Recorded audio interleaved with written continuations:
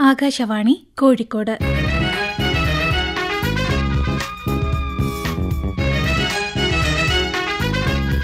വാർത്താദീപ്തി പ്രാദേശിക വാർത്താ വിഭാഗം അവതരിപ്പിക്കുന്ന പ്രതിവാര പരിപാടി.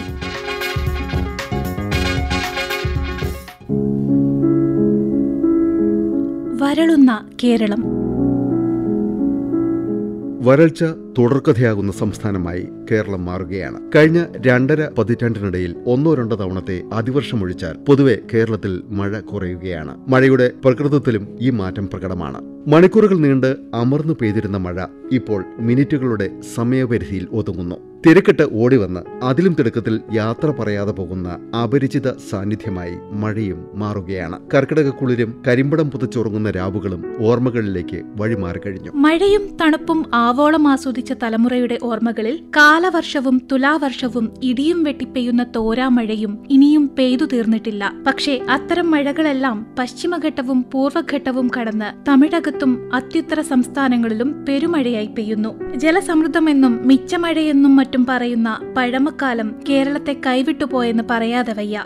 ഇത് കേരളത്തിന്റെ മാത്രം പായാരം പറച്ചിലല്ല. ഒരു കാലത്ത് ലോകത്ത് ഏറ്റവും അധികം മഴ പെയ്യുന്ന ഇടം എന്ന് പേരെടുത്ത ചിറാപൂഞ്ചിക്ക് പോലും ഇപ്പോൾ വരൾച്ചയുടെ കാലദോഷമാണ്. മഴ എന്നുള്ളത് വളരെ സങ്കീർണമായ ഒരു പ്രക്രിയയാണ്. കാലിക്കറ്റ് സർവകലാശാല പരിസ്ഥിതി ശാസ്ത്ര വിഭാഗം മേധാവി professor doctor C C Harilal. നമ്മുടെ കരഭൂമിയായും കടലുമായും ബന്ധപ്പെട്ട് കിടക്കുന്ന വായുമണ്ഡലത്തിന്റെ മർദ്ദവ്യത്യാസം തെക്കു പടിഞ്ഞാറൻ കാലവർഷത്തിന് കാരണമാകുമ്പോൾ അത് മഴയായി പരിണമിക്കുന്നതിലേക്കായുള്ള നമ്മുടെ പശ്ചിമഘട്ടത്തിന്റെ സംഭാവന വളരെ വലുതാണ്. ദേശീയ ശരാശരിയേക്കാൾ ഏതാണ്ട് രണ്ടു മടങ്ങ് മഴ ലഭിക്കുന്ന കേരളത്തിലെ വരൾച്ചയുടെ പ്രധാന കാരണം തനത് ഭൂപ്രകൃതിയും ജലസ്രോതസ്സുമായി ബന്ധപ്പെട്ട് കിടക്കുന്ന നമ്മളുടെ ഉപയോഗക്രമവുമാണ്. മഴയായി ലഭിക്കുന്ന ജലം മണിക്കൂറുകൾക്കകം ഒഴുകി കടലിലെത്തുന്ന സാഹചര്യം നിലനിൽക്കുമ്പോൾ ജലസ്രോതസ്സുകളുടെ ഉപയോഗത്തിലും ഭൂവിനിയോഗത്തിലും നാം ഓരോരുത്തരും അതീവ ജാഗ്രത പുലർത്തേണ്ടതായുണ്ട് എന്ന് തിരിച്ചറിയണം. കേരളത്തിൽ കാലാകാലങ്ങൾ പെയ്യുന്ന മഴയുടെ കണക്ക് പരിശോധിച്ചാൽ വലിയ അളവിലുള്ള ഏറ്റക്കുറച്ചിലുകൾ നമുക്ക് കാണാൻ കഴിയും.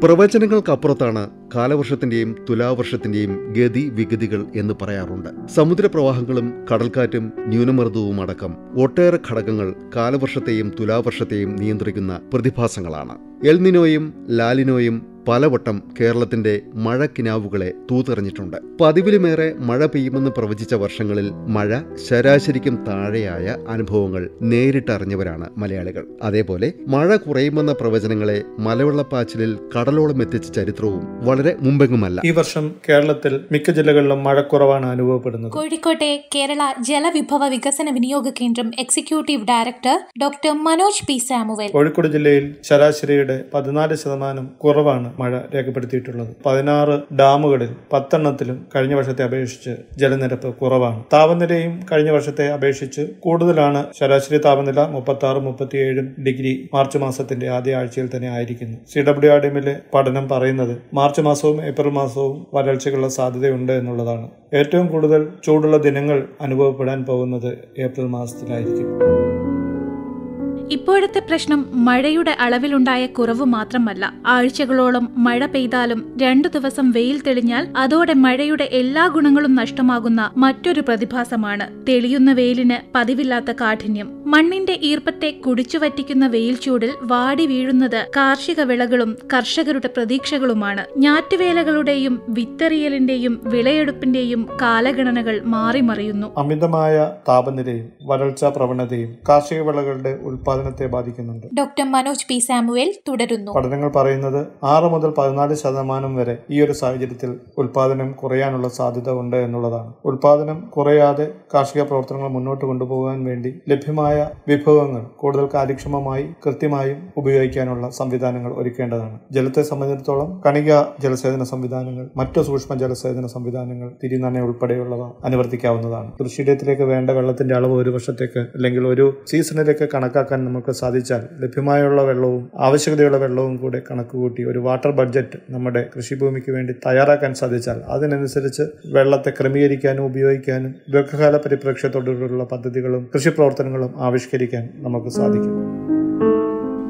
വനശോഷണത്തിന്റെയും അതിരുവിട്ട പ്രകൃതി ചൂഷണത്തിന്റെയും കാലഘട്ടത്തിൽ നിന്ന് മോചനം പ്രാപിക്കാൻ ഒരു പരിധിവരെയെങ്കിലും കഴിഞ്ഞെന്ന് അഭിമാനിക്കുന്ന കാലത്ത് തന്നെയാണ് ഈ വിപരീതാനുഭവം. മരങ്ങളും പച്ചിലത്തഴപ്പും വനമേഖലയും പരിരക്ഷിക്കാൻ കഴിയുന്നുണ്ടെങ്കിലും കാലാവസ്ഥയിലെ വൈരുദ്ധ്യങ്ങളെ തടയാൻ അവയൊന്നും പര്യാപ്തമാകുന്നില്ല. ഇതോടൊപ്പമാണ് ഭൂഗർഭ ജലവിധാനം കുറയുന്ന മറ്റൊരു പ്രതിഭാസവും മിക്ക മേഖലകളിലും കണ്ടെത്താനാകുന്നത്. പലയിടത്തും പത്ത് മീറ്ററോ അതിലധികമോ താഴേക്ക് നീരുറവകൾ താഴ്ന്നു കഴിഞ്ഞു. കേരളത്തിലെ വരൾച്ച ബാധിത പഞ്ചായത്തുകളെ ഉപഗ്രഹ ചിത്രങ്ങളുടെ സഹായത്തോടുകൂടെ അടയാളപ്പെടുത്താനും അങ്ങനെ അടയാളപ്പെടുത്തുന്ന പഞ്ചായത്തുകളിൽ പ്രത്യേക പരിഗണനയുള്ള പ്രദേശങ്ങളെ കണ്ടെത്തി അവിടെ കുടിവെള്ളത്തിനാണോ ജലസേന ആവശ്യങ്ങൾക്കാണോ മറ്റു ആവശ്യങ്ങൾക്കാണോ വെള്ളത്തിന്റെ ദൗർലഭ്യം എന്നത് മനസ്സിലാക്കി അതിനനുസരിച്ചുള്ള ഇടപെടൽ പ്രവർത്തനങ്ങൾ നടത്താനും സാധിക്കണം. ഡോക്ടർ മനോജ് പി സാമുവേൽ തുടരുന്നു. ഈ തയ്യാറാക്കുന്ന രേഖ കൃത്യമായി ഇതുമായി ബന്ധപ്പെട്ട് പ്രവർത്തിക്കുന്ന ദുരന്ത നിവാരണ അതോറിറ്റി റവന്യൂ വകുപ്പ് കൃഷി വകുപ്പ് മൃഗസംരക്ഷണ വകുപ്പ് ഫിഷറീസ് വകുപ്പ് തുടങ്ങിയ വകുപ്പുകൾക്ക് എത്തിക്കേണ്ടതുമാണ്. ഇതെല്ലാം പഞ്ചായത്ത് തലത്തിൽ ജനങ്ങളുടെ കൂട്ടായ്മയിലൂടെ ജനങ്ങളെ ഉൾക്കൊള്ളിച്ചുകൊണ്ടുള്ള ചർച്ചകൾക്ക് ശേഷം വേണം ഓരോ പ്രദേശത്തും വരൾച്ചയെ നേരിടാനുള്ള ഇടപെടൽ പ്രവർത്തനങ്ങൾ ആലോചിക്കേണ്ടതും ആവിഷ്കരിക്കേണ്ടതും. സൂക്ഷ്മതലങ്ങളിൽ വരൾച്ച അടയാളപ്പെടുത്തുന്ന പ്രവർത്തനങ്ങൾ ഈ വേനലിൽ നമുക്ക് ചെയ്യാൻ സാധിച്ചാൽ അടുത്ത വേനലിന് വേണ്ടി കൃത്യമായ വാട്ടർ ബഡ്ജറ്റുകൾ തയ്യാറാക്കാനും അവിടെയുള്ള മഴയെയും പുഴയെയും ഭൂജലത്തെയും ഉപരിതല ജലത്തെയും ഒഴുകി വരുന്ന വെള്ളത്തെയും ഒഴുകിപ്പോകുന്ന വെള്ളത്തെയും ഒക്കെ കണക്കിലെടുത്ത് ലഭ്യതയും ആവശ്യകതയും തുലനം ചെയ്ത് കൂടുതൽ കൃത്യമായി ജലത്തെ സംരക്ഷിക്കാനും ഉപയോഗിക്കാനും വിതരണം ചെയ്യാനും നമുക്ക് സാധിക്കണം. ഈ ഒരു സാഹചര്യത്തിൽ ജലവിനിയോഗത്തിലും സംരക്ഷണത്തിലും പുതിയ പാഠങ്ങൾ പഠിച്ചിറങ്ങേണ്ട അനിവാര്യതയിലേക്ക് കേരളം മാറുകയാണ്. ആറുമാസം മഴയും ആറുമാസം വെയിലും എന്ന പഴയ സങ്കല്പം ഇപ്പോൾ മൂന്ന് മാസം മഴയും ബാക്കി മുഴുവൻ വേനലും എന്ന യാഥാർത്ഥ്യത്തിലേക്ക് വഴിമാറിക്കഴിഞ്ഞു. ഒറ്റയടിക്ക് പെയ്തു തീരുന്ന മഴയെ ഭൂമിയുടെ ആഴങ്ങളിലേക്ക് എത്തിക്കാൻ കഴിയാത്ത ചുറ്റുപാടുകളാണ് ഭൂഗർഭ ജലനിരപ്പ് ആഴത്തിലേക്ക് പോകാൻ കാരണമാകുന്നത്.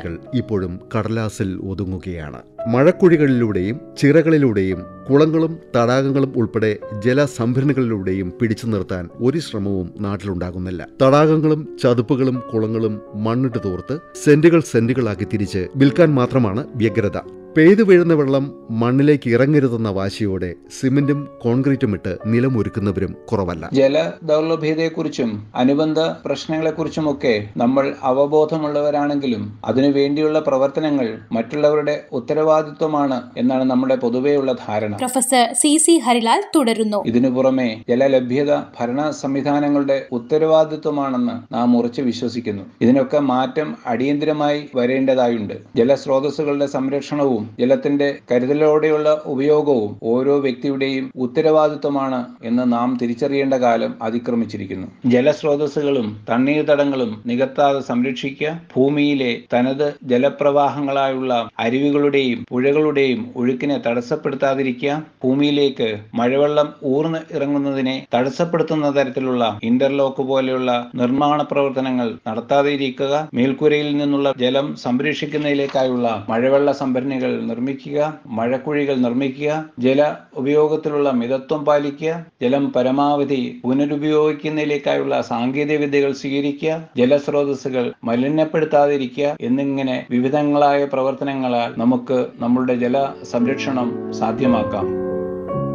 ജലവിനിയോഗത്തിൽ ഇത്രയേറെ അശ്രദ്ധ കാണിക്കുന്ന മറ്റൊരു സമൂഹം ലോകത്തുണ്ടോ എന്ന് പോലും സംശയിക്കേണ്ടിയിരിക്കുന്നു. കുടിവെള്ളത്തിന് മറുവഴിയില്ലാതെ വരളുന്ന മേഖലകളിൽ തന്നെയാണ് പൈപ്പുകൾ പൊട്ടുന്നതും ആഴ്ചകളോളം വെള്ളം കുത്തിയൊഴുകുന്നതും പൊട്ടിയ പൈപ്പുകൾ അടയ്ക്കാൻ വൈകുന്നതും നിർമ്മാണ പ്രവൃത്തികൾ അനിശ്ചിതമായി തുടരുന്നതും ചില മേഖലകളെ ജലശൂന്യമാക്കി മാറ്റുന്നു. കേരളത്തിലെ മൂന്നര കോടി ആളുകൾ പ്രതിദിന ചെലവിൽ രണ്ട് ലിറ്ററിന്റെ കുറവ് വരുത്തിയാൽ ഏഴ് കോടി ലിറ്റർ വെള്ളം കരുതി വെക്കാനാകുമെന്നാണ് വിദഗ്ധരുടെ അഭിപ്രായം. കുംഭവും മീനവും എത്തുന്നതിന് മുൻപേ വെള്ളക്ഷാമവും വരൾച്ചയും കേരളത്തെ വിഴുങ്ങിക്കഴിഞ്ഞു. ഇനിയൊരു മേടവും ഇടവത്തിന്റെ പാതിയും കഴിഞ്ഞാലേ കാലവർഷം വരുമെന്ന് കരുതാനെങ്കിലും പറ്റൂ. ഉറപ്പൊന്നുമില്ല.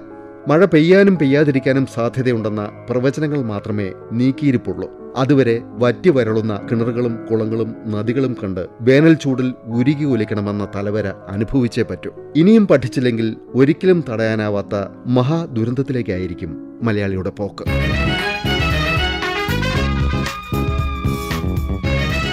ഇന്നത്തെ വാർത്താദീപ്തി ഇവിടെ പൂർണമാകുന്നു. രചന അനിൽ ചന്ദ്രൻ. അവതരണം രചന കെ ആസാദ് അനിൽ ചന്ദ്രൻ. തയ്യാറാക്കിയത് വൈ പി ഹബീബ് റഹ്മാൻ.